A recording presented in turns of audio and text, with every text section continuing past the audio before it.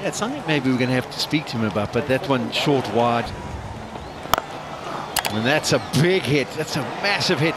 Way up to the grandstand. Well, he does that, and he does it quite comfortably. He's hit that a long way. That the last ball.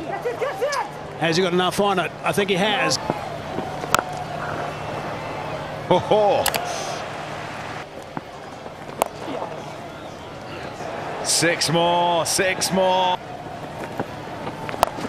More. Oh, yes. Fakhar Zaman. Ground not big enough for him. Three in a row.